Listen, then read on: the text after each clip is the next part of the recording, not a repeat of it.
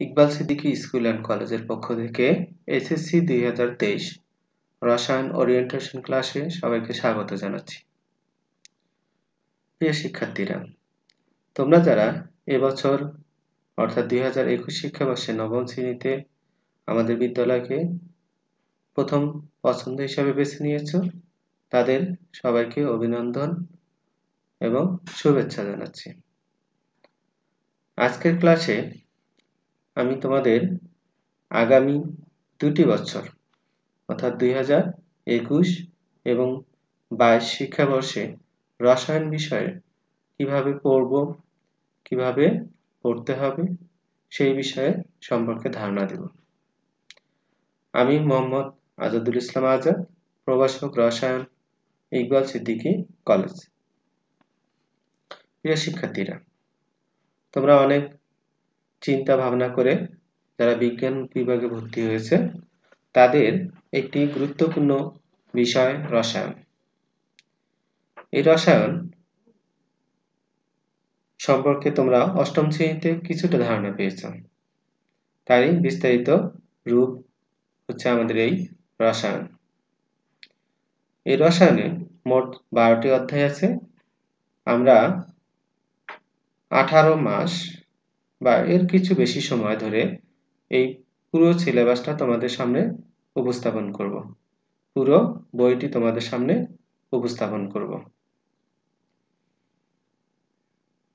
এ বারোটি অধ্যায়ের মধ্যে প্রথম অধ্যায় যেটা আছে, প্রথম অধ্যায়ের নাম রসায়নের ধারণা এবং প্রত্যেকটি অধ্যায়ের শুরুতেই এই অধ্যায়টি পড়লে তোমরা কি শিখবে কি সম্পর্কে ধারণা হবে?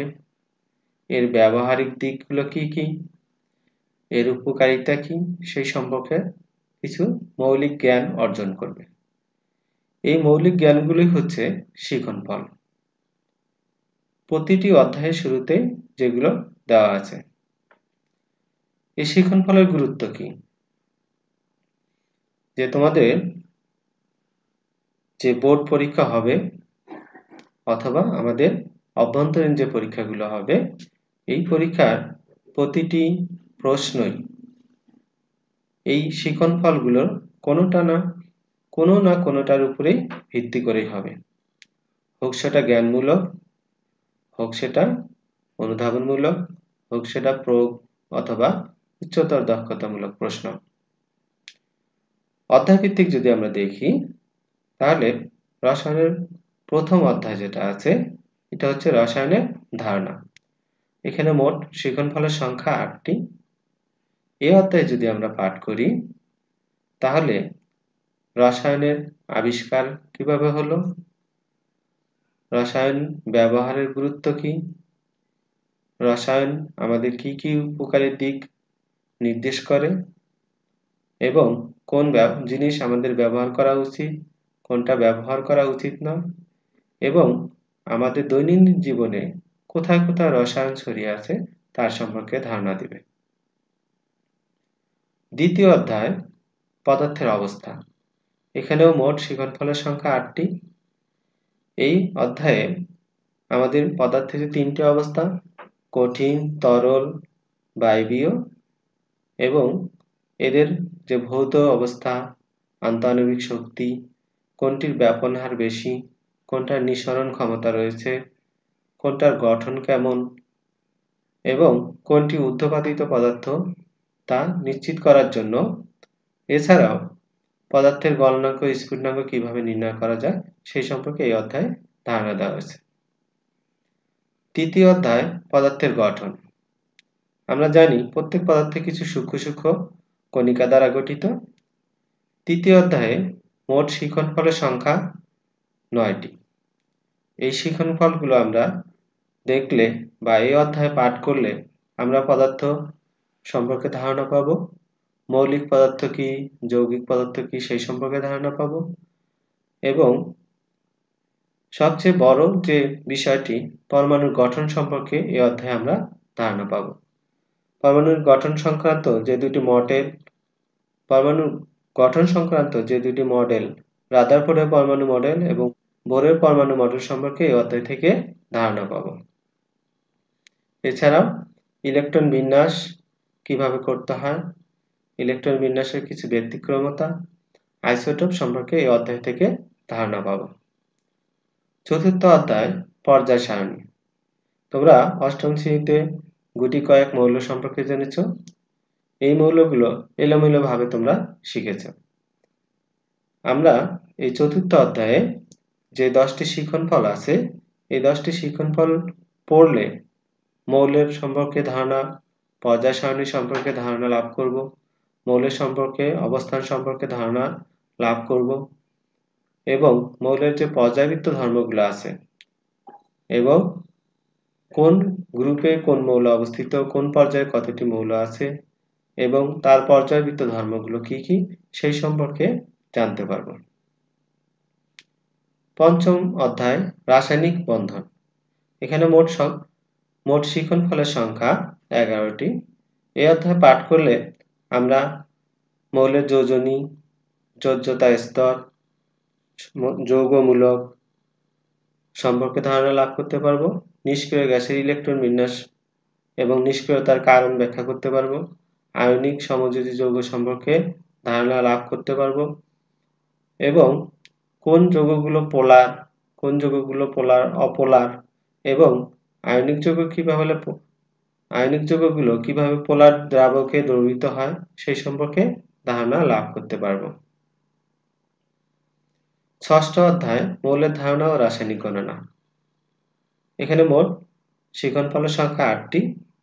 এই অধ্যায় পাঠ করলে আমরা মৌল কি মৌল কি সেই সম্পর্কে ধারণা লাভ করতে পারব। এবং মৌলের সংখ্যা বা গণনা কীভাবে করতে হয় সেই সম্পর্কে ধারণা করতে পারব। এবং একটি নির্দিষ্ট মোলারিটি বিশিষ্ট দ্রবণ কীভাবে তৈরি করা যায়, শতকরা সংযুক্তি কীভাবে নির্ণয় করা যায়, স্থূল সংকেত, আণবিক সংকেত কীভাবে নির্ণয় করা যায়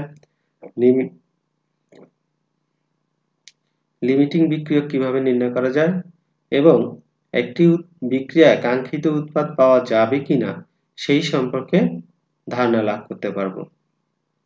সপ্তম অধ্যায়, রাসায়নিক বিক্রিয়া। তোমরা অষ্টম শ্রেণীতে এই অধ্যায় সম্পর্কে কিছুটা ধারণা পেয়েছ।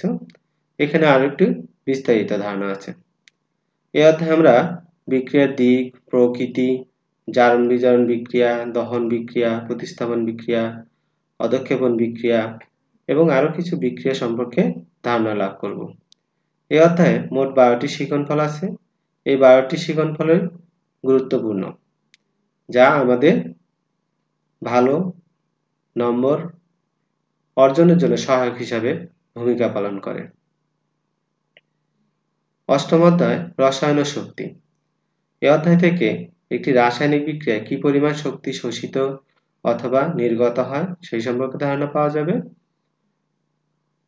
এবং গ্যালভানিক কোষ, ড্যানিয়েল বা ড্যানিয়েল কোষ, ড্রাই সেল, তড়িৎ বিশ্লেষ্য কোষ, গঠন, কীভাবে শক্তি উৎপন্ন করে এবং নিউক্লিয়ার বিক্রিয়া সম্পর্কে এই অধ্যায় থেকে ধারণা পাওয়া যাবে। এই অধ্যায়ে মোট শিকন ফলের সংখ্যা ষোলোটি। নবম অধ্যায়, এসিড ও ক্ষারক সমতা। এসিড এবং ক্ষার সম্পর্কে আমাদের ইতিমধ্যে ধারণা হয়েছে। এ অধ্যায়ে মোট বাইশটি শিখন ফল আছে।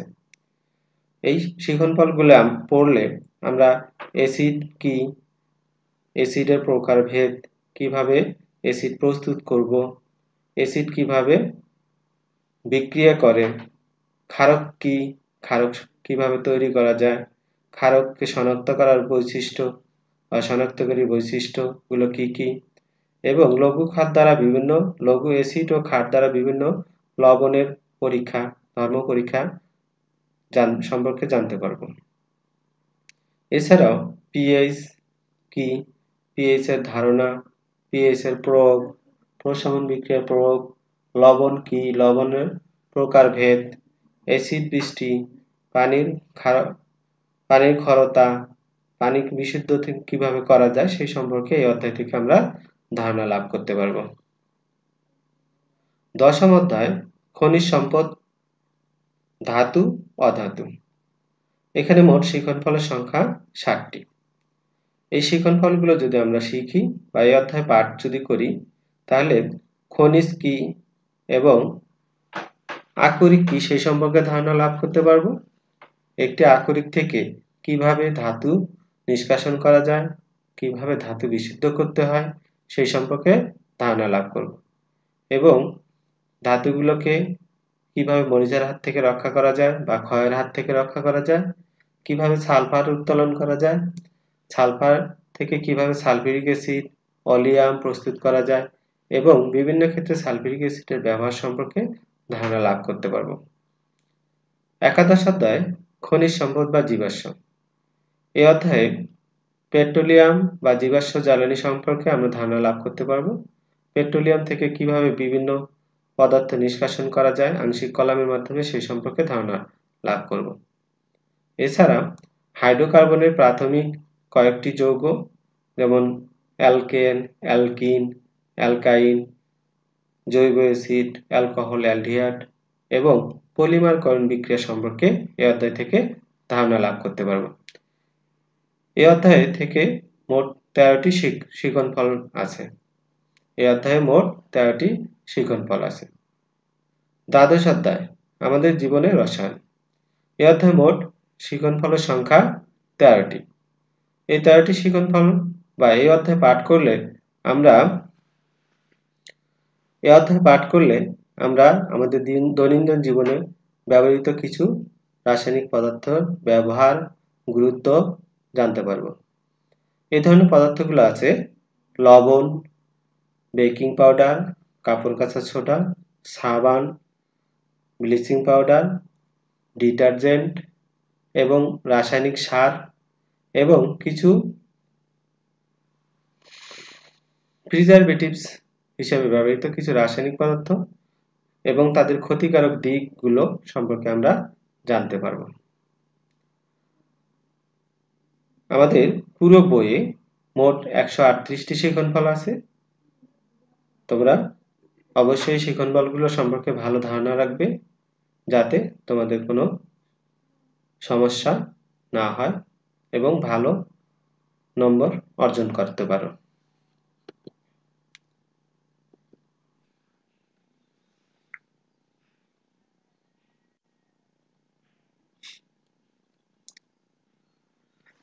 মানবন্ধন। অর্থাৎ তোমরা বোর্ড পরীক্ষায় অথবা আমাদের প্রাতিষ্ঠানিক যে পরীক্ষাগুলো হবে, এই পরীক্ষাগুলোতে কীভাবে নম্বর বন্টন করা হয় সেই বিষয় নিয়ে এখন আলোচনা।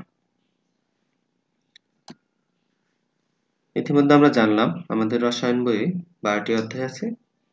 এই বারোটি অধ্যায় থেকে আটটি সৃজনশীল প্রশ্ন থাকবে। আটটি সৃজনশীলের মধ্যে তোমাকে পাঁচটি উত্তর দিতে হবে, যেখানে পাঁচ দশে পঞ্চাশটি নম্বর, অর্থাৎ পঞ্চাশ নম্বরের উত্তর বা নম্বর পাবে তুমি। এরপর আছে পঁচিশটি বহু নির্বাচনী পরীক্ষা।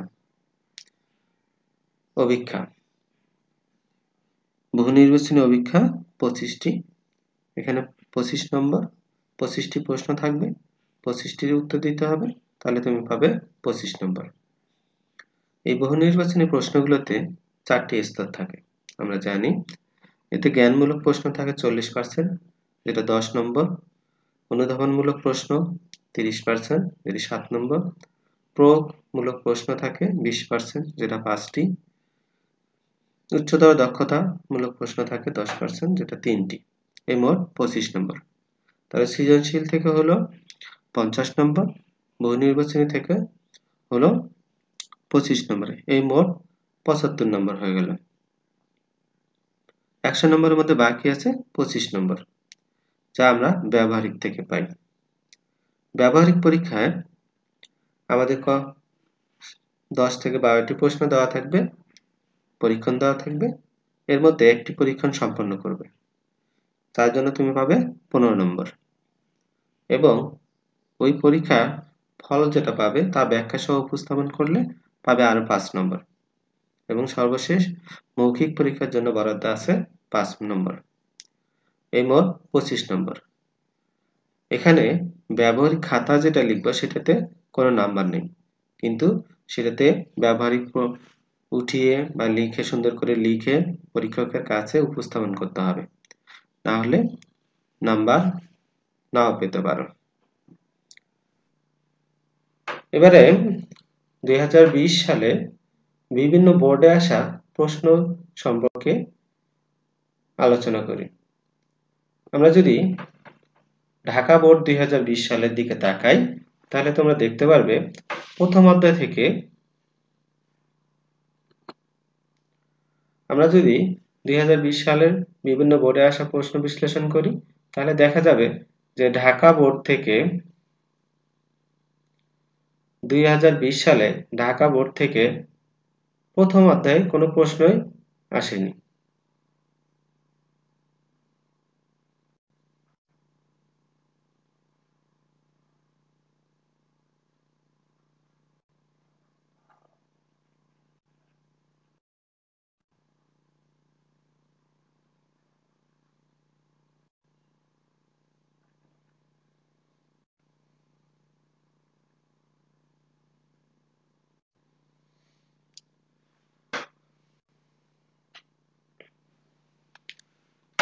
আমরা যদি দুই হাজার বিশ সালে ঢাকা বোর্ডের দিকে তাকাই, তাহলে দেখা যাবে প্রথম অধ্যায় থেকে কোনো প্রশ্ন অর্থাৎ বহু নির্বাচনী প্রশ্ন আসেনি। দ্বিতীয় অধ্যায় থেকে এসেছিল একটি, তৃতীয় অধ্যায় থেকে একটি, চতুর্থ অধ্যায় থেকে একটি, পঞ্চম অধ্যায় থেকে দুইটি, ষষ্ঠ অধ্যায় থেকে দুইটি, সপ্তম অধ্যায় থেকে দুইটি, অষ্টম অধ্যায় থেকে দুইটি এবং সবচেয়ে চারটি করে প্রশ্ন এসেছিল নবম, দশম এবং দ্বাদশ অধ্যায় থেকে। এবং একাদশ অধ্যায় থেকে উঠে এসেছিল। চারটি দুইটি প্রশ্ন। তাহলে মোট পঁচিশটি প্রশ্ন। তাহলে দেখা যাচ্ছে যে বারোটি অধ্যায়ের মধ্যে এগারোটি অধ্যায় থেকে বহু নির্বাচনী প্রশ্ন এসেছিল। কিন্তু একটি অধ্যায় থেকে প্রথম অধ্যায়, অর্থাৎ প্রথম অধ্যায় থেকে কোনো প্রশ্ন দুই হাজার বিশ সালে ঢাকা বোর্ডে আসেনি। দিনাজপুর রাজশাহী বোর্ডের দিকে যদি দেখি, প্রথম অধ্যায় থেকে কোনো প্রশ্ন আসেনি। তাছাড়া দ্বিতীয় থেকে দ্বাদশ পর্যন্ত সকল অধ্যায় থেকে কম বেশি কম বেশি প্রশ্ন এসেছিল। দিনাজপুর বোর্ডের দিকে যদি তাকাই, তাহলে দেখা যায় যে সকল অধ্যায় থেকে বহু নির্বাচনী প্রশ্ন এসেছিল। সিলেট বোর্ডের দিকে তাকালেও দেখব আমরা, সকল অধ্যায় থেকে একটি করে, একটি, দুইটি, তিনটি, পাঁচটি, সর্বোচ্চ ষষ্ঠ অধ্যায় থেকে পাঁচটি নৈতিক এসেছিল। কুমিল্লা বিডে, কুমিল্লা বোর্ডেও দিকে তাকালেও আমরা দেখব যে প্রত্যেক অধ্যায় থেকে নৈবেদিক এসেছিল চট্টগ্রাম, যশোর, বরিশাল, ময়মনসিংহ সকল বোর্ডে কি হয়েছিল? যে সকল অধ্যায় থেকে দুঃখিত, চট্টগ্রাম, যশোর, বরিশাল, ময়মনসিংহ বিভাগের মধ্যে চট্টগ্রাম, যশোর, বরিশালও সবগুলো অধ্যায় থেকে বহু নির্বাচনী প্রশ্ন এসেছিল। কিন্তু ময়মনসিংহ বোর্ডে দুই হাজার বিশ শিক্ষাবর্ষে ষষ্ঠ অধ্যায় থেকে কোনো প্রশ্ন বা বহু নির্বাচনী প্রশ্ন আসেনি। সেটা আমরা দেখতে পেলাম। তাহলে আমাদের সবগুলো অধ্যায়ই সমান গুরুত্ব দিয়ে পড়তে হবে। বলা যায় না কোন অধ্যায় থেকে কতটি নৈবৃত্তি কখন চলে আসবে। এ গেল বহু নির্বাচনী প্রশ্নের কথা।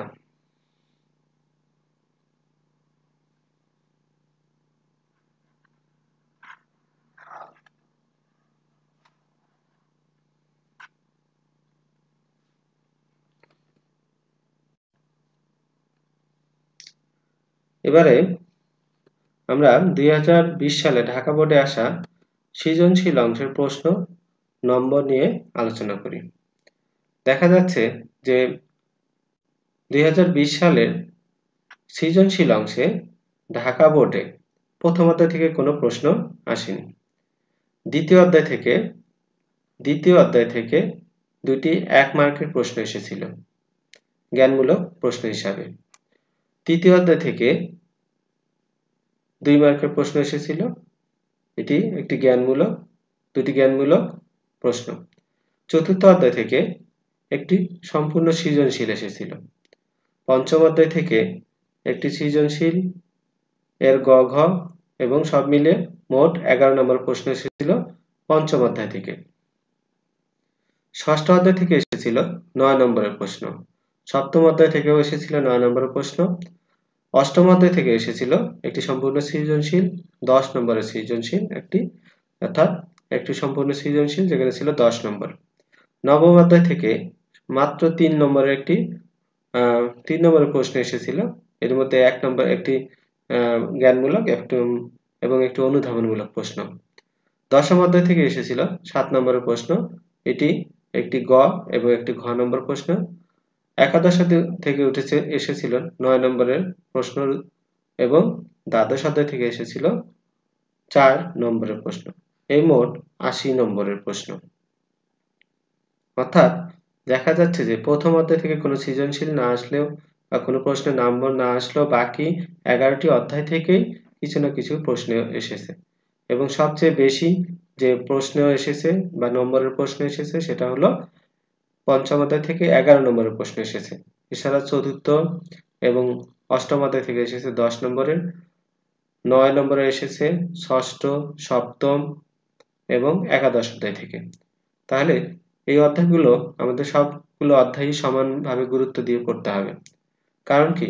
এই অধ্যায়গুলোর মধ্যে দেখা যাবে যে কোনো একটা প্রশ্ন হয়তো এক নম্বরের জন্য কোনো একটা অধ্যায় থেকে আসছে, দুই নম্বরের জন্য একটা অন্য কোনো অধ্যায় থেকে আসছে এবং একটা সৃজনশীলের গ, ঘ সাধারণত একই উদ্দীপক থেকে হওয়ার সম্ভাবনা বেশি।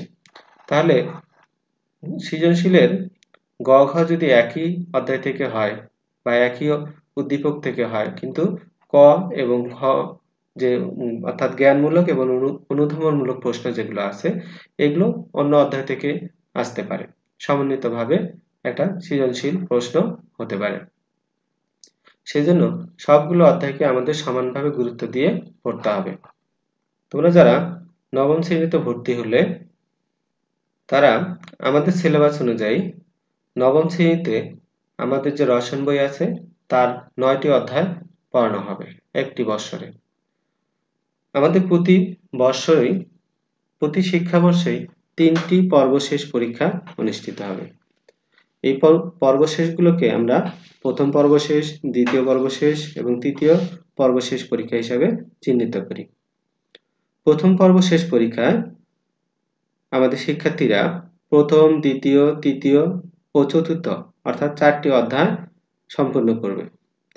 দ্বিতীয় পর্বশেষ পরীক্ষার জন্য বা দ্বিতীয় পর্বে পঞ্চম, ষষ্ঠ এবং তৃতীয় অধ্যায় পুনরালোচনা করবে। তৃতীয় পর্বশেষ পরীক্ষার সপ্তম, অষ্টম এবং নবম এই তিনটে অধ্যায় আলোচনা করা হবে। তাহলে নবম শ্রেণীতে আমরা এক থেকে নয় পর্যন্ত অধ্যায়গুলো পড়ব। পরবর্তীতে দশম শ্রেণীতে প্রথম পর্ব শেষ পরীক্ষায় আমাদের বইয়ের অবশিষ্ট তিনটি অধ্যায়, দশম, একাদশ ও দ্বাদশ, এই অধ্যায়গুলো নিয়ে আলোচনা করব। এবং দ্বিতীয় পর্ব শেষ, যেটা আমরা প্রাক নির্বাচনী, দশম শ্রেণির শিক্ষার্থীদের জন্য প্রাক নির্বাচনী প্রাক নির্বাচনী পরীক্ষা। এই পরীক্ষায় আমাদের বই, প্রতিষ্ঠান নির্ধারিত সিলেবাসে এবং বোর্ড নির্ধারিত সিলেবাস অনুযায়ী হবে দ্বিতীয় পর্ব শেষ, অর্থাৎ প্রাক নির্বাচনী পরীক্ষাটি আমাদের বোর্ড নির্ধারিত সিলেবাস অনুযায়ী হবে। এবং তৃতীয় পর্ব শেষ যেটা এসএসসি পরীক্ষার্থীদের জন্য সেটা হবে নির্বাচনী পরীক্ষা। নির্বাচনী পরীক্ষা। এখানেও আমরা এই পরীক্ষাটা বোর্ড নির্ধারিত সিলেবাস অনুযায়ী হবে। তাহলে দশম শ্রেণীতে হবে প্রথম পর্ব শেষ পরীক্ষা, যেখানে তিনটি অধ্যায়, দশম, একাদশ ও দ্বাদশ অধ্যায় এবং দ্বিতীয় পর্ব শেষ, যেটি প্রাক নির্বাচনী পরীক্ষা দশম শ্রেণি শিক্ষার্থীদের জন্য বোর্ড নির্ধারিত সিলেবাস এবং তৃতীয় পর্ব শেষ পরীক্ষা যেটি বা নির্বাচনী পরীক্ষা এখানে বোর্ড নির্ধারিত সিলেবাস অনুসরণ করা হবে।